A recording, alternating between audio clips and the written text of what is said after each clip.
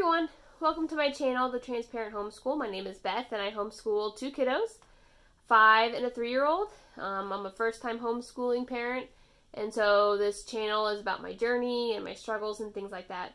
Um, today I'm just going to do a quick video showing you my homeschool space. Um, I actually kind of have two separate homeschool spaces um, because I didn't have, I don't have a designated homeschool room in our house, and so it had to kind of be split up into two separate areas. Um, so I'm just going to quickly take you through um, each area and how I kind of have things organized. So let's get started. So this is um, where we do the majority of our school, and it's just in the corner of a bedroom. So like, there's the bed, and it's just kind of tucked back there in the corner. Um, so we're going to start over here. This is their tray where they turn everything in. And then th these bins here um, just have a bunch of different activities that they can do when they are finished with their um, with their work. There's just all kinds of like activity books, coloring books, threading things like that. And then down here are a whole bunch of puzzles. My kids just love puzzles. Um, and so when they're done with their work, they can do that. This is where we keep all of our Right Start math stuff. There's so many manipulatives that I had to um, buy this storage unit at Ikea. And it's worked out pretty well so far. On the bottom we have our recycle bin where we put all of our papers and stuff. And then um, there's our schedule, our clock, and then um, this is kind of a dry erase board for anything that needs to go up there. Um, or anything that we're memorizing at that time.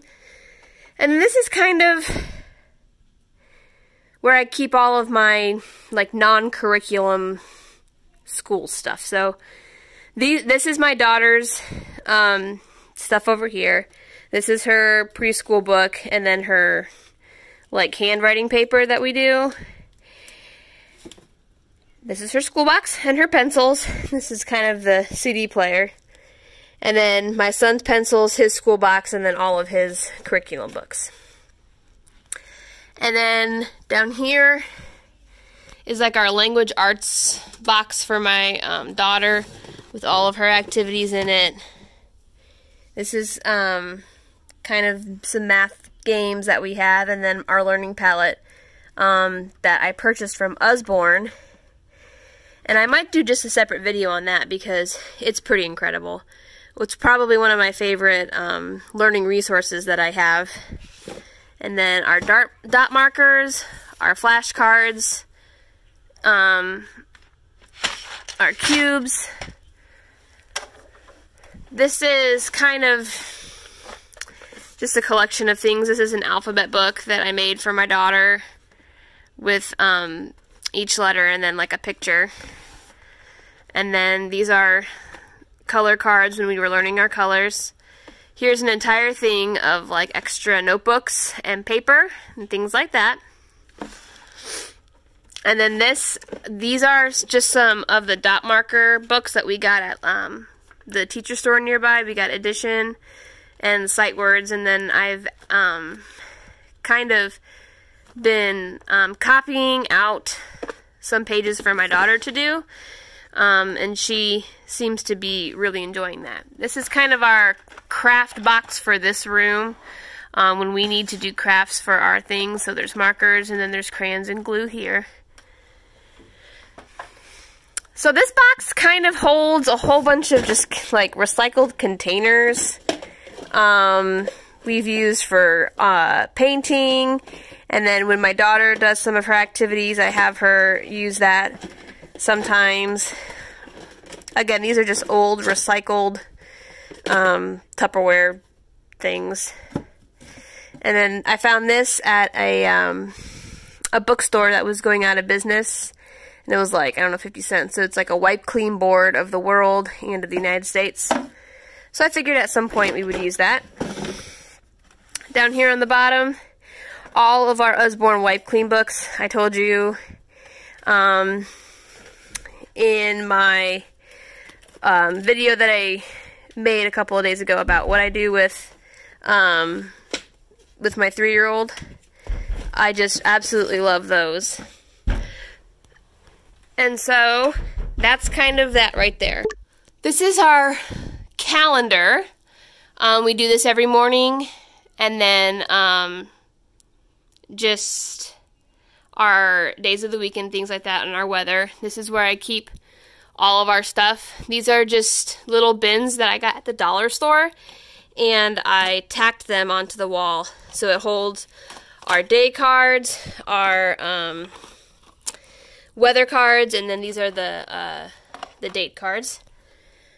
I have a, a chart here, or a little wipe clean chart here that I made to track how many days of school we have left. We started at 180 and we've kind of worked our way down, so we're almost to the end of the school year. Woohoo!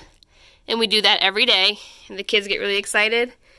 Um, there's the first part of my son's sight word list. I've had to continue on to another board, and I'll show you that in a second. This is our um, creation um, chart that was part of our learning that we did. So I made a little chart. And then up here I have a poem that we recite every morning. And then um, a little saying about before you speak. So, how our words should be. Our words should be true, helpful, they should be inspiring, and our words should be necessary, but most importantly, they should be kind. So, we do that every morning. Is, these are just little charts to help my son with phonics, to remember B and D, and then when to use K and when to use C. This over here is kind of, um,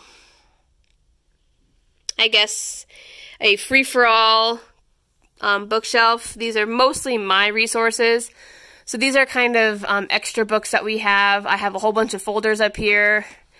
Um, and then just empty school boxes that I don't really know what to do with yet. Again, um, I'm a huge fan of Usborne, and so this is one of their reading sets that I bought. And these are really great um, for beginning readers. And then here is like a another um, math resource. This box is kind of my teacher, um, like teachers things that I have you know, um, that I just don't want the kids to get in. Hole punch. So we keep our Bible and our hand sanitizer. These are my teacher manuals. And these are books that we have finished or that we're not using anymore. All of our glue, um, my markers and pens and pencils. And then we have some scissors here. These are for when we do like, um, just like cutting activities. My daughter is really um, working on her cutting right now, so we do a lot of that. These are all of our um, science enrichment books for Memoria Press. This is where I keep all of our calendar stuff. And then down here are just some nonfiction encyclopedias, and then just some other um, really cool nonfiction, and then just the books. This is from, um, well, it's from IKEA, but I actually found this on the side of the road. Um, someone was throwing it out, and I just, I was like, what? That's crazy. So I picked it up and I cleaned it up and painted it. Um, and then I put some uh, baskets of books underneath. And so that's kind of um, a very quick run through of our room. This is where we usually do most of our schoolwork. Um, and so the next part I'm going to show you is um, where we do our arts and crafts. Okay, so we're now in my kids' bedroom. Um, they share a room, and so this is where we have kind of our arts and crafts center. Um, like there are their beds over there. So this is their table, their craft table. I picked this up at Ikea as well. I liked it because when you open up the, the thing, they have these little bins inside. And so sometimes when we do our crafts, we leave them in there to dry for the day. And then that way it's out of sight, out of mind for the kids. And so they're not just like constantly touching it. So I have um, two bookshelves. And I was thinking of how to cover them so the kids wouldn't be touching my materials all the time. And so again from IKEA, this um, was a three-piece room divider. And so I just unscrewed each piece and screwed it in like over the bookshelf to kind of make doors and they fit almost perfectly on there. So it's kind of just like a door. So this is one of my bookshelves. On top we have all of our paint, um, all of the acrylic paint, and then all of our paintbrushes. Here are their um, watercolor sets. Each one has the same one. And then these are some other watercolors. This um, most of this art supplies actually came from that bookstore that was going out of business, and I, I mean, I was there almost every day for like a week, just kind of looking at what they had. I got most of the paint on the top shelf for like two bucks. And I mean, most of them are half full or more. And so I was, it was just a huge blessing to me at the time. Um, cause craft supplies is pretty expensive. So here are all of our um, colors of construction paper. Um, the next row, all the glue sticks. Um, and so in one of my other videos, I talked about how my sister is a kindergarten teacher. And every year she has so much school supplies left over that there's no way that she can use it all. And then the next year she gets so much more. And so um, she brought home an entire bin full of glue sticks. So that's what we use for our glue sticks.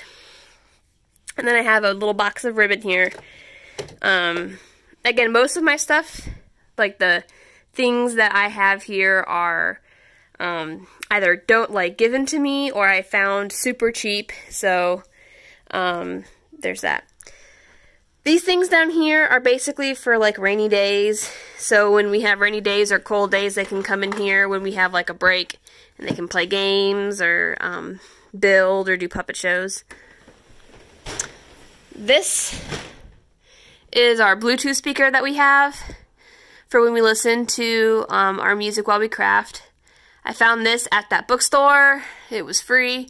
And then up there is kind of our board to kind of um, highlight their artwork. Down here in this bin, we have a whole bunch of like scrap paper. Um, a lot of it is like um, just things that we've had around the house that have a clear back and they can use that to draw on. These are coloring books. The next drawer is where we keep our crayons, markers, and colored pencils. And then in the bottom, I just have a magnet board um, with some shapes in it that they can also use on rainy days. In this bookshelf, this is kind of our like supplies closet, I guess. Um,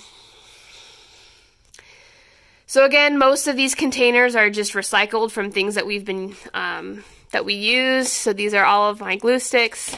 I have some shells in here that we collected at the beach um, craft sticks, and then a whole thing of cotton balls. These are some of my teachers' um, things. Here's our paper, our cardstock that we use a lot. Just a few materials. In this box, we have all kinds of stuff. Paper cups, paper plates, and bags, and things like that. And then I just, again, just took boxes, put tape on them, to hold all of our stuff that we used throughout the year for our um, craft supplies. Those are books, like art books and stuff. And then paint shirts. Um, my husband and I had matching Disney shirts when we went to Disney. And we didn't use them anymore, so I let them be our Disney, or our paint shirts for the kids. So these are some of our crafts that we've done throughout the year. And then um, when I changed them out, I made these, um, I bought two things of poster board at the dollar store and just made these like homemade portfolios for each of my kids. And then on the first day of school, I had them decorate them however they wanted with their stickers and a whole bunch of stuff. Then when we finish um, a craft and we kind of take it down, we put it in their portfolio. And it's a way to kind of keep all of the papers organized and things like that. So this that's basically my homeschool space. Um, so we don't technically have a room dedicated to our homeschool, but we do kind of have some extra space that I utilize for our homeschool. Now, in a few months, we are going to be moving into a smaller house. Um, it's a rental until we can, um, until we find a house. Um, and so this will definitely change and it will be a smaller space.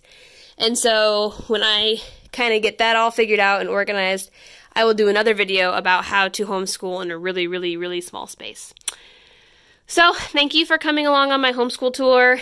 Um, if you have any questions about any of the things that I showed you, just comment on um, comment below and I will get back to you. Thank you. Bye.